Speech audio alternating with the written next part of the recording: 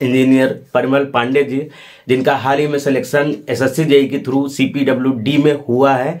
इनकी all over India rank जो रहने वाली पहली है ईडब्ल्यूएस में। अगर टोटल रैंक देखी जाए तो 27 रैंक रहने वाली सर डिप्लोमा स्टूडेंट को नहीं ले आते आप। अब बीटेक वाले कमेंट करेंगे कि, सर बीटेक वालों का इंटरव्यू लेकर आइए, क्योंकि आज हमारे साथ जो मौजूद है, वो भी डिप्लोमा स्टूडेंट ही हैं। तो तो जो बच्चे प्रिपरेशन नहीं कर रिवीजन नहीं कर पाते हैं, वो ऐसा वॉल चार्ट लगा सकते हैं, जो कि आज आजकल बहुत ही मार्केट में अवेलेबल है। ये जो हमारी तरफ़ चार्ट लगा हुआ है, ये इंग्लिश में रहने वाला है सिविल गोली पब्लिकेशन का है। इसके अलावा आप और कौन कौन से एग्ज़ाम आपने दिया है और कहाँ कहाँ तक उसमें आप क्वालिफाई हुए हैं वो हम जानना चाहेंगे। तो रिवीजन करने के लिए कुछ ट्रिक बताएँगे? आप आप कैसे रिवीजन करते थे? तो क्या स्कोर रहे हैं आपके प्री और मेंस में? और टोटल स्कोरिंग कितना रहा आपका? जानना चाहेंगे एक नोट्स होती है जो कोचिंग वाले बनवाते हैं। एक शॉर्ट नोट्स होती है जो हम अपने से बनाते हैं। तो तैयारी आपने कहाँ से शुरू की? कहाँ से कौन सा स्टडी मटेरियल कोचिंग्स वगैरह आपने ज्वाइन किया? वो जानना चाहेंगे। तो लगातार तीन एग्ज़ाम क्वालिफाई किए हैं एंड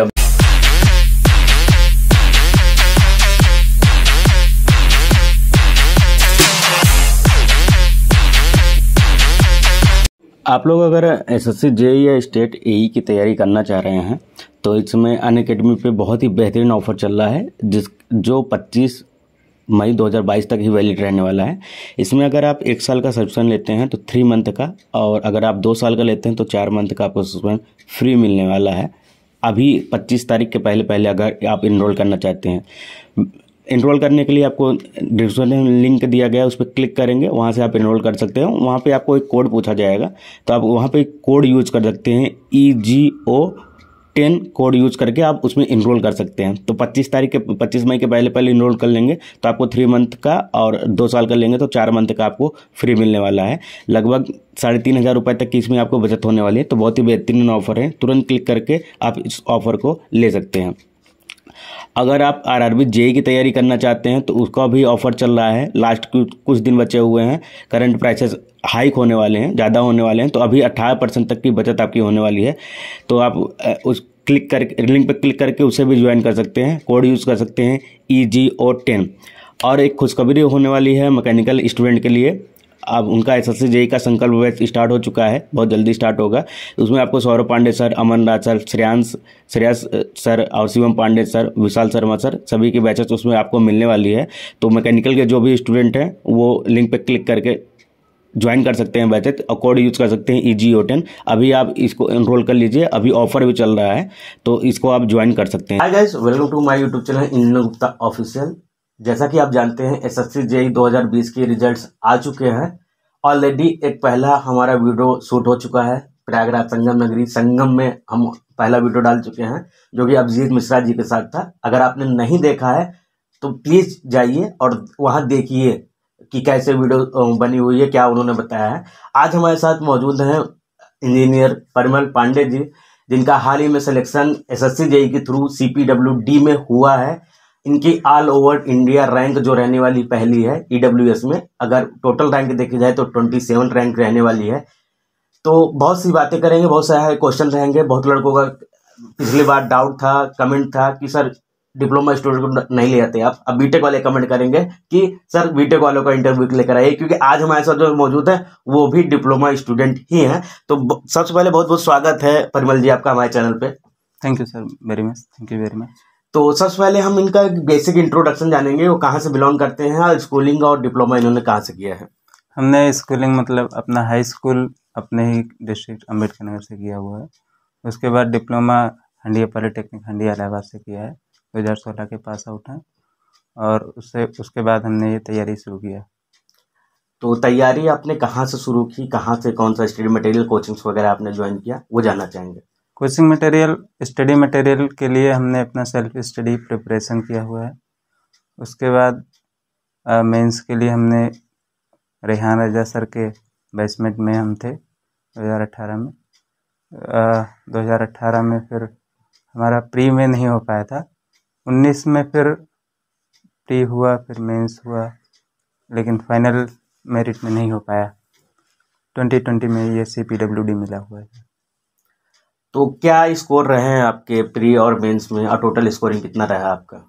प्री में हमारा वन वन सेवन था और मेंस में टू ज़ीरो सिक्स था। टोटल थ्री ट्वेंटी थ्री तो हम बुक्स के बारे में जानना चाहेंगे कि कौन कौन सी बुक्स आप पढ़ाई के दौरान पढ़ते थे?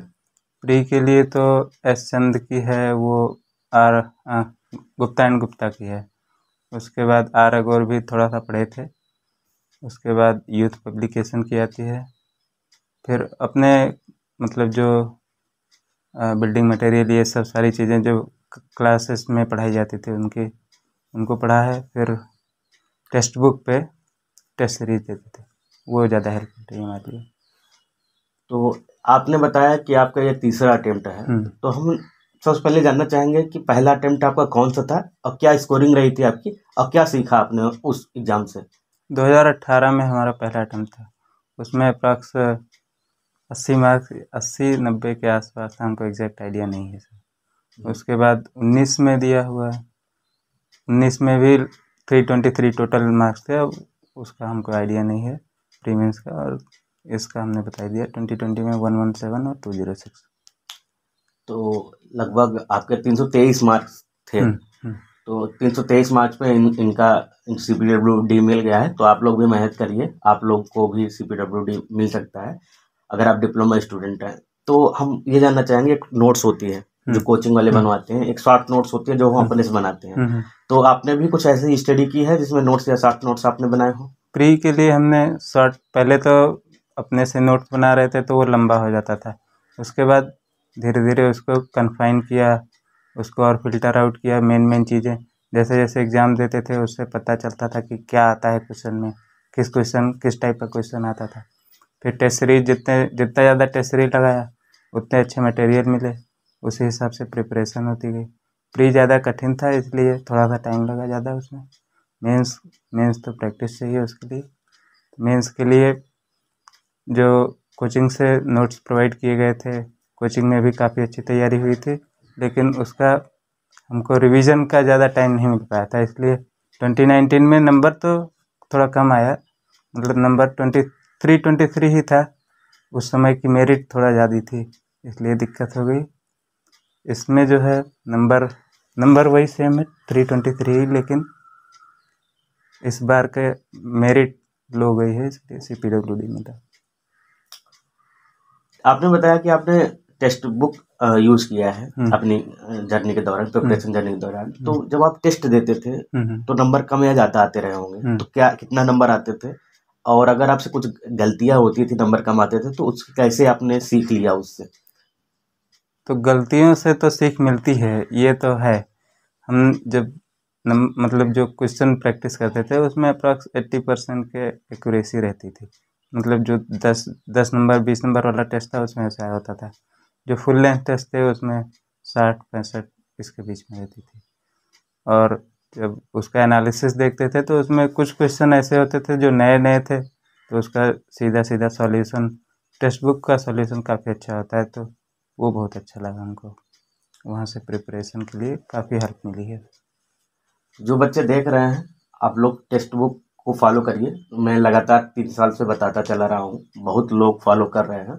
क्योंकि एनालिसिस के मामले में टेक्स्ट बुक से अच्छा कोई भी ऐप नहीं है ना तो हम्म। कोई कोचिंग क्लासेस उतना बढ़िया एनालिसिस करवाती है हम्म। तो वहाँ से सेल्फ एनालिसिस भी कर सकते हैं क्योंकि उसमें सारे डाउट्स आपके क्लियर हो जाएँगे वहाँ एनालिसिस अच्छी सारी मिल जाएगी इसके अलावा आप और कौन कौन से एग्ज़ाम आपने दिया है और कहाँ कहाँ तक उसमें आप क्वालिफाई हुए हैं वो हम जानना चाहेंगे हमने कई सारे एग्ज़ाम दिए U P P C L का दिया और सब कई सारे एग्ज़ाम दिए लेकिन नहीं हो पाया था जो सिलेक्शन हुआ उसमें सबसे पहले एन डब्ल्यू डी ए में हुआ था।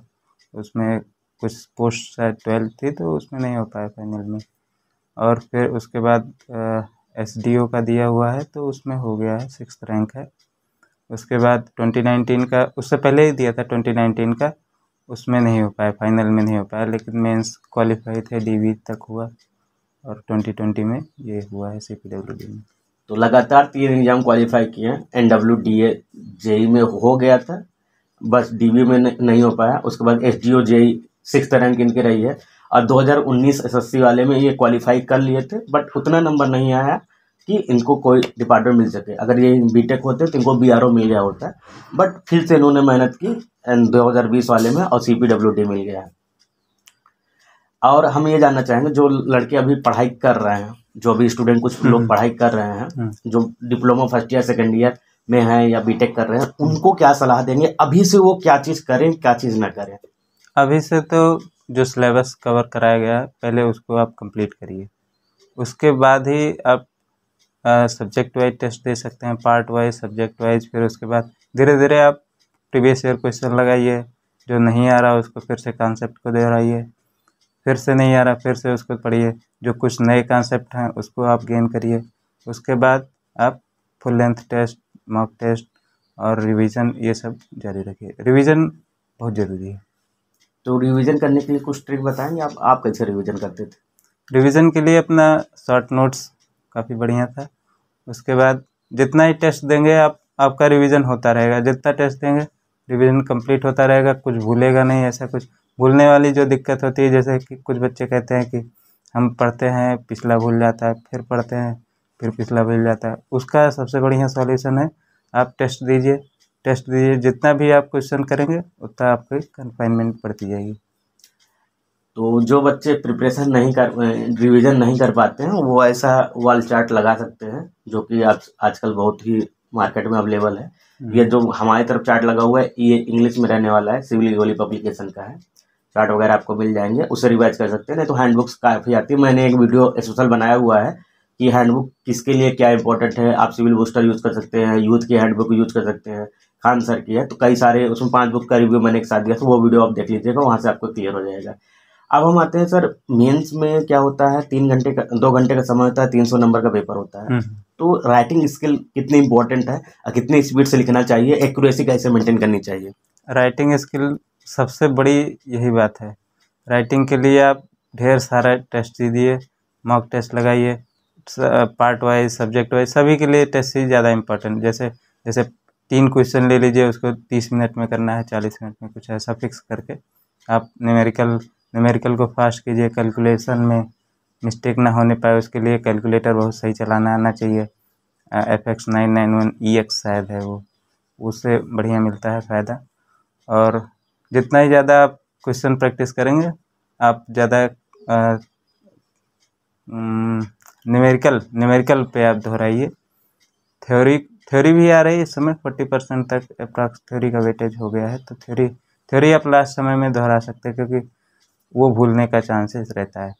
और पॉइंट वाइज आप लिखेंगे थ्योरी तो वो सबसे अच्छा नंबर मिलता है। दस पॉइंट लिख देंगे तो उसमें आप सात या आठ नंबर आसानी से गेन कर लेंगे। जी हाँ। अब बात करते हैं कि जैसे आप 2016 के पास आउट हैं 2022 लग चुका है। छः साल की जर्नी इतना टाइम देना तैयारी को लेकर तो कभी कभी डिमोटिवेशन आता होगा। हम्म। तो उसमें एक मोटिवेशन कैसे आपने जनरेट किया कि इतनी लॉन्ग जर्नी आपने तैयारी कर पाया आप यहाँ तक? मेन हमारा ड्रीम ही था इस टाइप जे बनने सी पी डब्ल्यू डी में ये हमारा ड्रीम था। हमने जब आ, समर ट्रेनिंग होती है उस दौरान हम इलाहाबाद से ही बीटेक ये किया हुआ है। Summer training. समर ट्रेनिंग हमने इलाहाबाद से ही किया हुआ है। तो वहाँ पर आए थे तो वहाँ के जेई काफ़ी अच्छा ट्रीट किए। तो उस समय हमको लगा कि ये पोस्ट काफ़ी अच्छी है। उसी समय हमका हमारा ये ड्रीम था कि सी पी डब्ल्यू डी में जेई के लिए। उसके लिए मोटिवेशन यही मेन था और और सब सारी चीज़ें चलिए बहुत लगा बहुत अच्छा लगा सर। अब हर इंटरव्यू करके बहुत बच्चे मोटिवेट हो रहे होंगे कि all over India rank one आई है आपकी कैटेगरी में ई डब्ल्यू एस कैटेगरी में रैंक वन है। और लगभग तीन चार एग्ज़ाम आप क्वालिफाई किए हैं लॉन्ग जर्नी रही है आपकी। और इसके अलावा हम एक चीज़ जानना चाहेंगे कि कितने एग्ज़ाम्स लगभग आप दे चुके हैं अगर आप अप्रोक्सीमेट बता जाएँगे सर्कल में दस बीस तीस चालीस के अप्रोक्सीमेट तो कितने एग्ज़ाम आपने दिया छः साल में? बीस से पच्चीस बीस पच्चीस के पास दिया हाँ तो बीस पच्चीस के हर साल लगभग पाँच से छः एग्ज़ाम इनका इन्होंने दिया है। तो काफ़ी आप एग्ज़ाम देते रहिए डिमोटिवेट ना रहिए। राइटिंग स्किल सर ने बता दिया है आपको प्री के लिए बता दिया है। एक आजकल एग्ज़ाम पैटर्न थोड़ा चेंज हो रहा है। एग्ज़ाम पैटर्न चेंज तो कुछ स्टेट में क्या होती है थोड़ा लेंदी क्वेश्चन पूछे जा रहे हैं। अब एसएससी में भी थोड़ा प्री में लेंदी क्वेश्चन पूछे जा रहे हैं। तो अब के एग्ज़ाम के पैटर्न के अकॉर्डिंग बच्चे तैयारी कैसे करनी चाहिए? लेंदी क्वेश्चन है अगर तो वो तो सबको, सबके लिए है। अगर कॉन्सेप्ट ठीक है तो जैसे यूपी ट्रिपल एस में क्या है कि लिखता लंबा क्वेश्चन है, लेकिन उसका आंसर जो है बहुत आसानी से निकाल सकते हैं। तो ये सब ट्रिक जो है आप जितना ज़्यादा क्वेश्चन प्रैक्टिस करेंगे, उसी से गेन कर पाएँगे। और प्रीवियस ईयर क्वेश्चन जितना लगाएँगे, आपको प्रैक्टिस रहेगी कि अप्रॉक्स डाटा किस तरह से दिया जाता है, किस तरह से इसको सॉल्व किया जाता है, क्या शॉर्ट ट्रिक हो सकती है। ये सब सारी चीज़ें आप प्रीवियस ईयर क्वेश्चन पेपर से कर सकते हैं टैकल कर सकते हैं उसको। इससे पहले किसी बच्चे का कमेंट आया कि सर ये कोचिंग कहाँ पे है दी इंजीनियर्स तो दी इंजीनियर्स अब सिविल ब्रांच वहाँ पे हट गया है। अब वही कोचिंग स्वैट एकेडमी के नाम से इलाहाबाद में चलती है। सही है सर? हम्म, हम्म, तो. बच्चे कंफ्यूजन ना हो क्योंकि अभिजीत मिश्रा जो इसके पहले आए थे वो भी स्वैट एकेडमी के ही स्टूडेंट थे जिन्होंने दी इंजीनियर्स में लिया था। अब वो अलग हो चुके हैं तो आप स्वेट एकेडमी सर्च कर सकते हैं आपको वहाँ की सारी डिटेल्स मिल जाएगी। इसके अलावा हम ये जानना चाहेंगे कि रिवीजन के दौरान डिस्ट्रैक्शन भी आते हैं। हम्म। मतलब आप मोबाइल ले लिए मान के चलिए उसमें लाइव क्लासेस पढ़ रहे हैं। हम्म, हम्म। तो डिस्ट्रैक्शन को कैसे आप रिमूव करते थे?